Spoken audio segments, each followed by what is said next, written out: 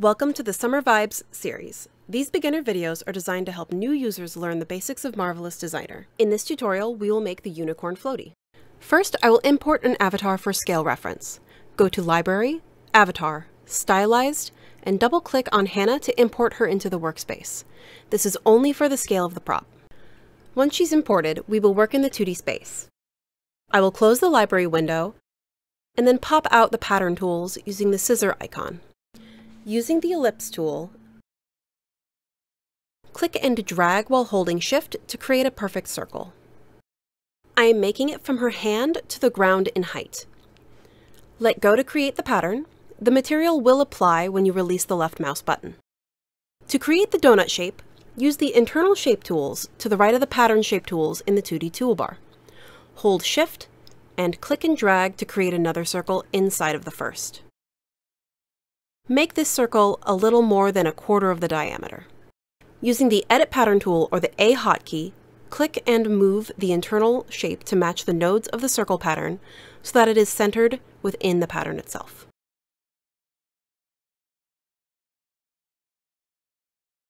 To create the basic donut shape, right-click the internal circle and select Convert to Hole in the drop-down menu. This is our base pattern. Let's rotate this in the 3D window. In the 3D window, use the gizmo by clicking once on the pattern and rotate using the axis handles. Rotate it so that the white side is facing down, and then simulate with the spacebar or the simulate button. Now that we have the scale of this pattern, we can delete the avatar. Select the avatar, and then use the delete key to remove her from the scene. Then I will move my pattern to the center of my workspace. Simulate after you move it so that your pattern touches the ground. There is a dark side and a light side. The dark side is the flipped normal. White side is the normal. We always want our normals facing out if we can. So let's make another pattern. In the 2D window, right click and choose Layer Clone Under.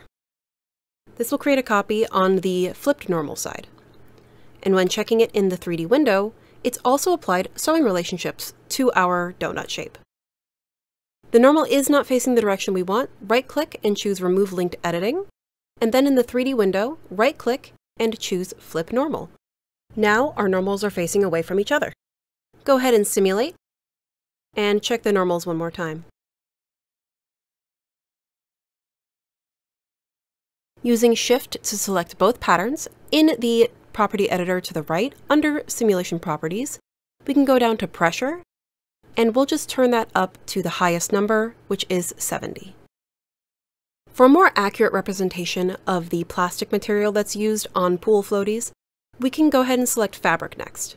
Going up to the Fabric window, double-clicking on Fabric 1, then going down to the bottom and selecting Physical Properties for the material. Here I will select nylon canvas since it is a very similar material to the plastic or PVC that is often used.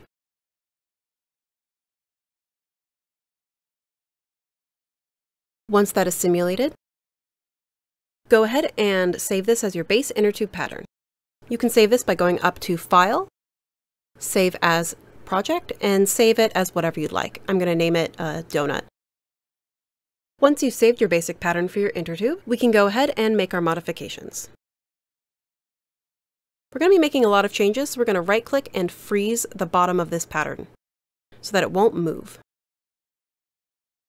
We could also apply some pins using the W hotkey with a left click to create single pinpoints. To hold that in place so that when we turn freeze off for the final step, it won't move on us. So make sure you've applied those pins and your donut is frozen before you start. Next, we're going to be making the hole for the head. So using the internal ellipse tool one more time, I'll just pop that out so you can see it. I'm going to create a circle, holding Control and Shift to make it a perfect circle coming up from the center of where I click, and then I can check and see the shape in the 3D window. I need this to be less of a perfect circle and more of an oval. So I am using the Edit Pattern tool or the Z hotkey, and I'm using the arrows to move the circle points inward. Then I'm going to right click and convert those to curve points, and then using the V as in Victor hotkey or the Edit curve point tool, I'm going to delete those points, points that I moved, just to smooth out that curve. Using the Edit Pattern tool, select one half of that circle that we created and click on it once to get a line measurement. We can use that line measurement to make the pattern that sews into the neck. Using the polygon tool, we can create our shape with the left click once and then right click to bring up a dialog box where you can import your exact distance. Import your number here. Continue with a basic head shape for the head of your unicorn, and when you're done, close the shape by meeting the first point to the final point. We have half of the head, we need to make the other half so we can create the inflated balloon effect again. In the 2D window, right-click the head pattern and choose Create Symmetric Pattern with Sewing. Left-click once to place it in the workspace. To attach these onto the tube we made, we need to create sewing relationships. We didn't have to use sewing tools earlier because the layer clone creates sewing by default. To sew, go up to the toolbar, and you'll see the sewing tools. I will pop them out and use the segment sewing tool, making sure the necks of the heads are facing forward. So sew the right side to the right side and left side to the left side. The notches come out of the sewing line indicate the beginning direction of the sewing. Then using the free sewing tool, sew the head pieces together by clicking to start and to finish the lines. Make sure to start on the same direction of each one. If you get confused, you can always sew in the 3D window and also rotate your pattern in the 3D space. So here I will rotate the heads using the gizmo tool again so that they're facing the exact direction I want them to face when I sew them to the body of this inner tube.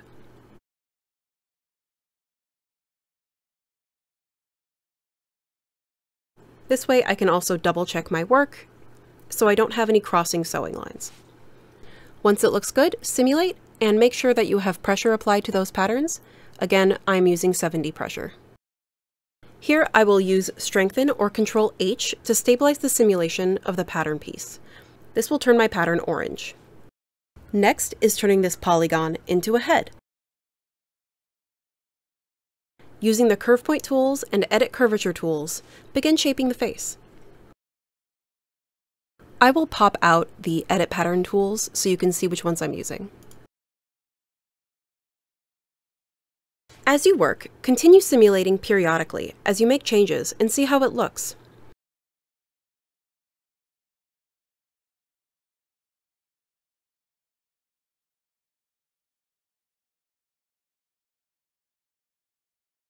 Continue to adjust the shape until you are happy with the look in the 3D space. It doesn't have to look perfect in the 2D space because what is most important is how it looks in 3D.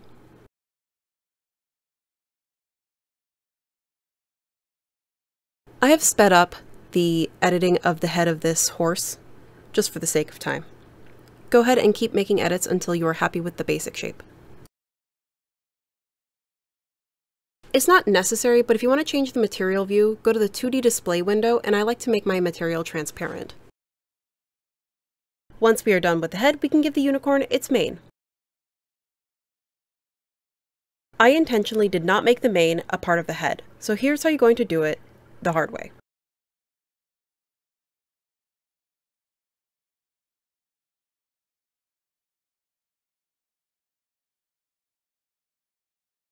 Using the polygon tool, go ahead and trace the side of the neck that you want to attach the mane to. For this, I will add a wiggly line for the edges and make it more cute.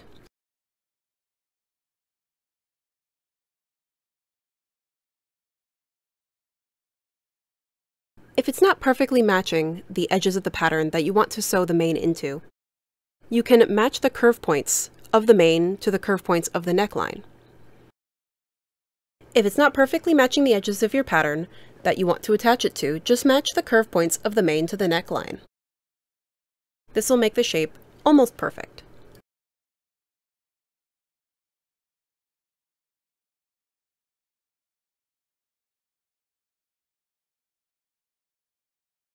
Again, I am just changing the shape of my mane now that I have aligned it a little bit better.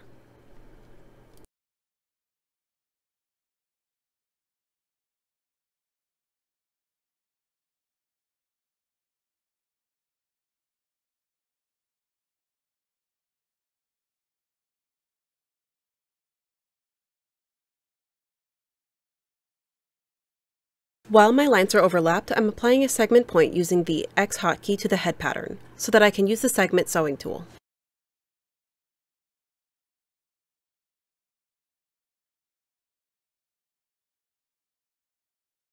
Then doing the same as before, we have a right mane, we need a left mane, so in this case we're going to use Control C, Control D for symmetric pattern with sewing. Then using the sewing tools again, I'll use the segment sewing tool to sew the mane to the neck, and then the mane to itself. Afterwards, make sure that you have 70 pressure value for that mane. Once you're done, go ahead and use the spacebar to simulate it into place. The pattern went into place, but it's a little bit difficult to pull out because of the particle distance and the size of the pattern. Going to the property editor and the particle distance, I'm reducing the particle distance down to 5 so I can have a more accurate simulation. Then I will do the same to the head patterns as well.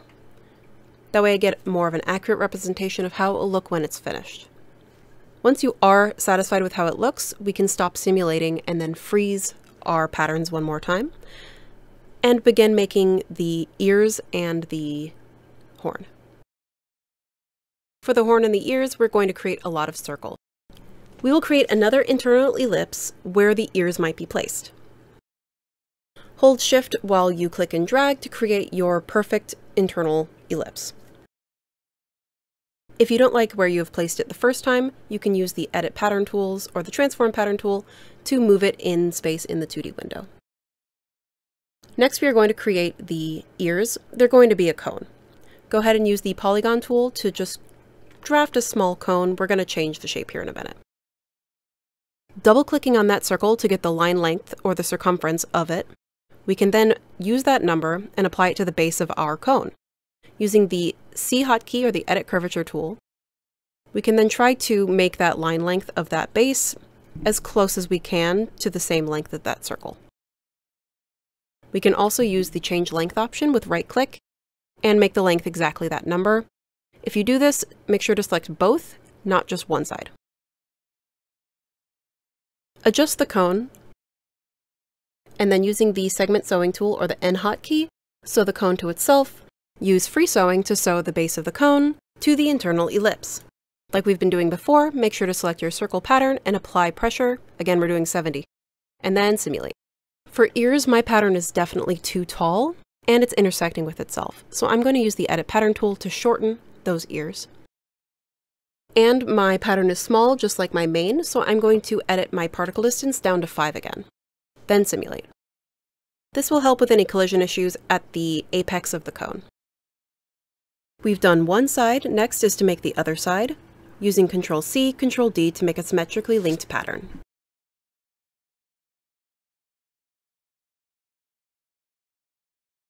Once you're satisfied with the ears, onto the horn next. The horn will still be across the center of the face, so make sure to place the circle centered on one of the lines as best you can. As you place it, it is best to make sure that the line it is on is a straight line. Since this head is symmetrically linked, you only have to do this once. I'm rotating the segment points on this circle, so it is bisecting the head of the horse so I can make sure it's as close to the center as I can.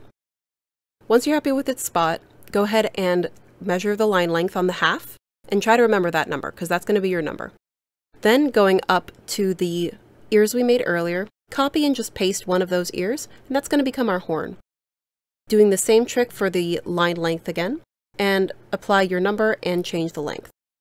This time the horn's going to be bigger than the ears, so I've just increased the length. Since this is going to be divided into two, we're going to use the free sewing tool, and sew half of the head to half of the horn, and then do the same to the other side, making sure to go in the same direction as best you can so you don't cross over your sewing. You can check how it looks in the 3D window before you simulate.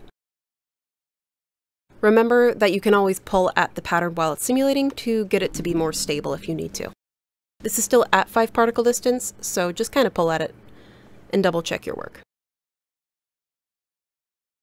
Once it looks pretty good, you can also apply the strengthening to the entire pattern and try to stabilize any pieces that might be giving you trouble.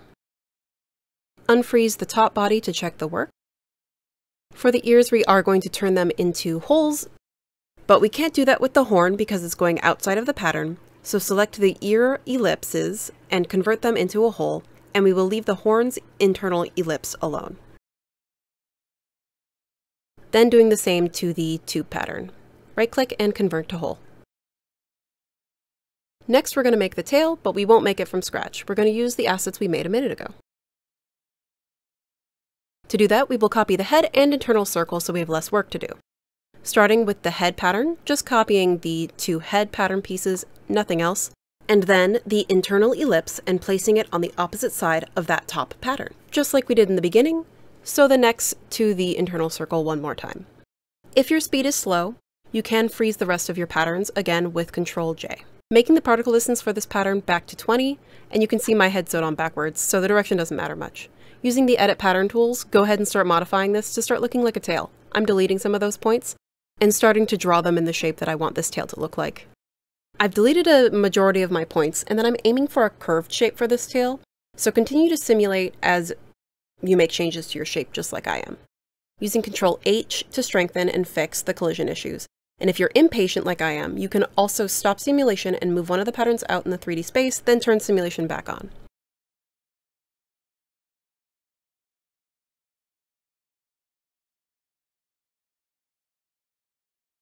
Using the Edit Curve Point tool, I'm aiming to make the curved tail.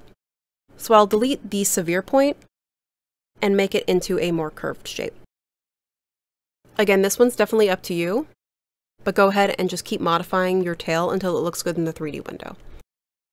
As I'm playing around with the shape of my pattern, I am changing the sewing line that it's going into the base, and that does affect the pattern the most. My tail ends up looking a bit like a baseball cap in my 2D window. Yours might not look exactly like mine, and don't worry about it. It's really up to you how you want this final design to look. I'm trying to go for a rainbow shaped tail so I can do a rainbow texture. Once you're happy with the shape, we can apply Control H or strengthening one more time to make sure there's no collision issues, and then reactivate the entire pattern. Remembering that we did place pins at the very base, then making sure to select all of our patterns and reduce the particle distance down to 5. Then let simulation run for a little bit so that you can get some nice wrinkles on your unicorn floaty. And this does finish the unicorn floaty. You can now save and export this project for render in your preferred 3D package. Check out the other Summer Vibes tutorial videos on how to make more of the assets seen in this render.